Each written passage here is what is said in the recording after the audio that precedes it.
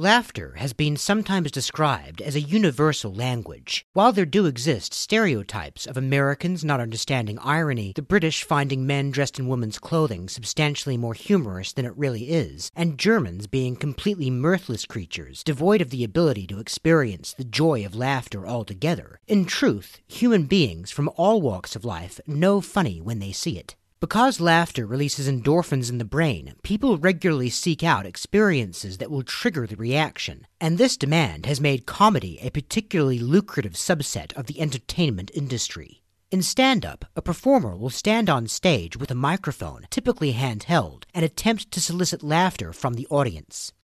And that's it. While this comedy genre is wildly popular across the globe and has elevated a handful of performers to fame, adulation, and wealth, its raw, stripped back nature makes it notoriously difficult to master. Stand up comedians almost invariably need to spend years slogging away, performing for no pay or table scraps, before cultivating a level of skill where they can earn any kind of discernible income from the discipline. A tiny minority of those who venture into stand up will ever be able to make a living off of it, and only the absolute elite talents in the field will find fame and fortune from it. Though occasionally, someone falls through the cracks. Denis Leary began making a name for himself in the early 90s Boston comedy scene and had his breakout moment with a special entitled No Cure for Cancer that was released on January 12th of 1993. While it was a commercial success, getting significant play in the US, the UK, and Canada, and propelling Leary to newfound notoriety, many people familiar with one of Leary's contemporaries, Bill Hicks, noticed striking similarities between Leary and Hicks' material. The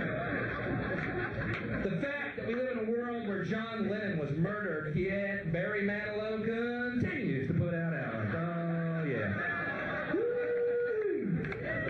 Man, if you're gonna kill somebody, have some fucking taste.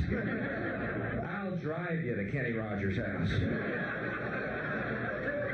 Get in the car, I know where Wham lives. You gotta have fake.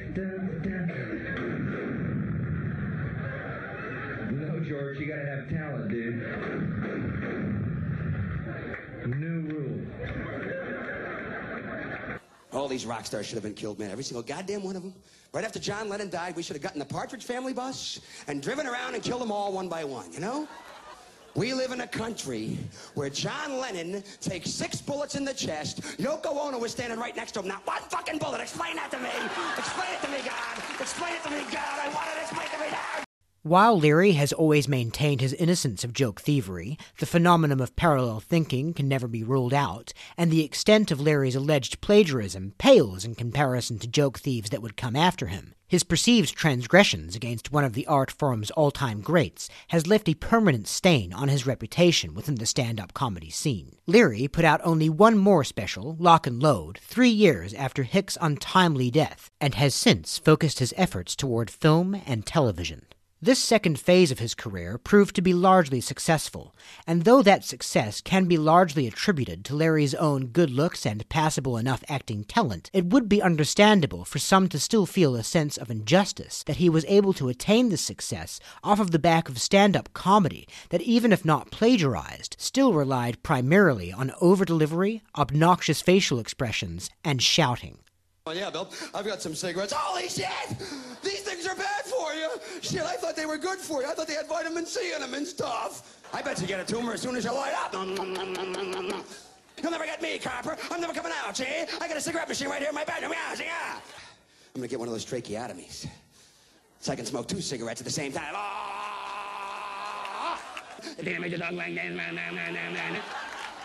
Sure, it's scary, but you can be, make a lot of money with a voice box. Get a voice box, walk around the streets of Manhattan. You got any spare change? Here's my whole wallet. Get away from me! Ah! Judas Priest done fell because my kid wrote the record, and he listened to the lyrics, and he got into Satan. Yes, Denis Leary is undoubtedly a hack comedian. And though hack comedians may not be respected by their peers, in all areas of the entertainment industry, status rules over all. And no matter how insufferable any given individual may be, if they're the most famous and connected person in a room at any given moment, no one will call them on their bullshit.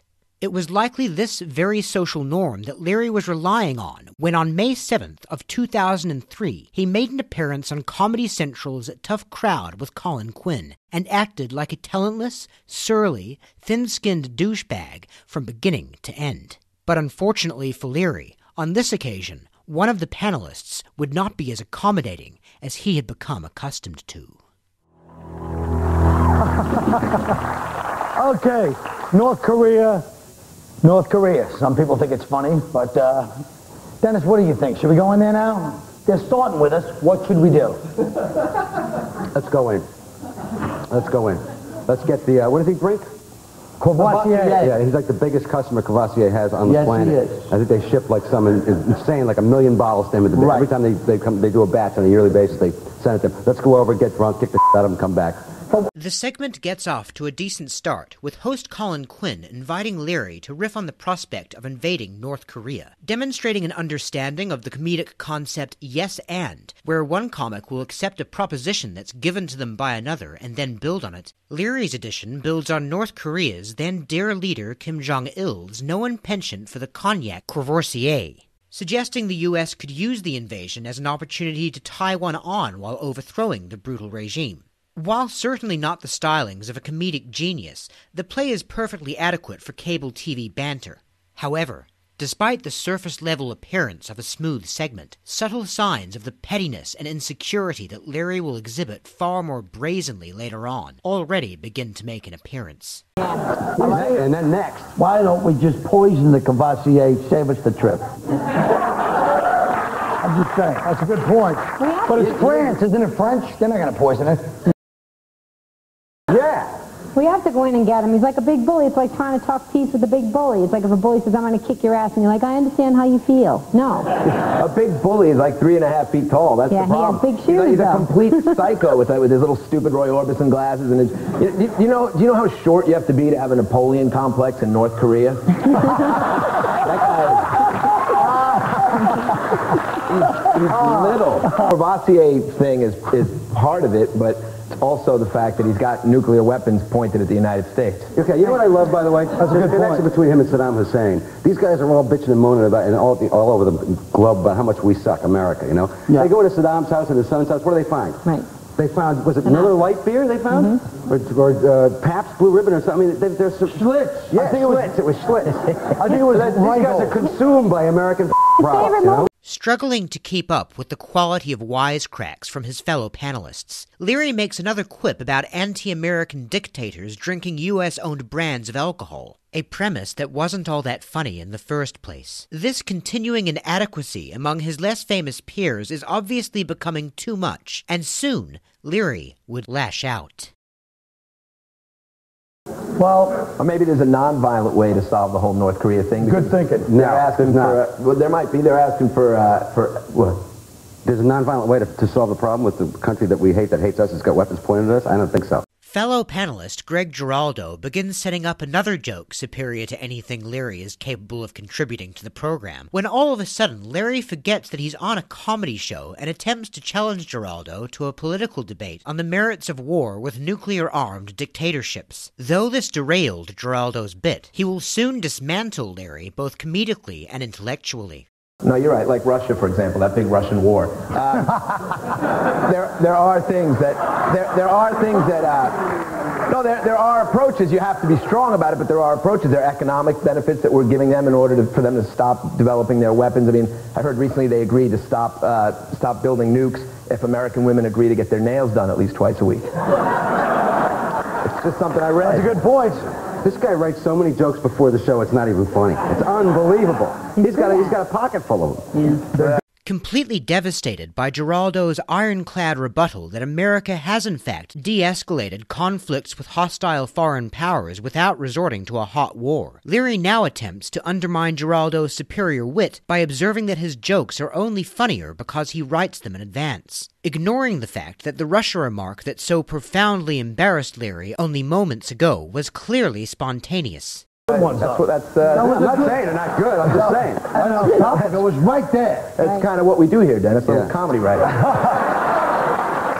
Oh, boy. I'm not coming back. You That's it. I'm That's done. it. You're the guy in school that did all the homework and then asked if there was any more that needed to be done. In the study of people losing verbal jousts, this is known as flapping your gums or filling dead air. Leary has just been put in his place twice in a row, has no comeback, but still feels the need to say something, anything, to show that he's still in the game. He resorts to projecting an unfavorable profile on Giraldo, in this instance, that of a teacher's pet. Notice that this doesn't make any sense contextually. Nothing Greg Giraldo has said or done during this segment has had any air of a sycophantic student trying to win favor with their teacher. In fact, quite the opposite. All Giraldo has been guilty of is refusing to lend Leary the level of deference he has come to expect, an approach that he will be doubling down on in the seconds to come. Yeah, you're. That's, that's a good point. And if you had tried a little comedy writing, maybe your show would still be on the air. Oh!